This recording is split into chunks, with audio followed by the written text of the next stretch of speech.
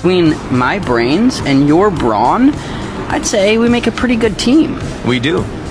Although technically I have both brains and brawn. True, but I have the personality and the winning smile, so.